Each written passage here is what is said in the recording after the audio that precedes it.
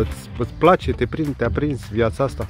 Păi, ce să fac? Adică ești printre puținii oameni care au făcut fotbal și care s-au retras în liniștea Dar ce să familiei și undeva la țară să... Nu prea văd un viitor foarte strălucit cu fotbalul ăsta nostru. Cât de liniștit te simți aici? Foarte bine. Și Adică și te-ai mai întoarce, nu știu, între un fotbal? Nu știu ce să zic, e greu.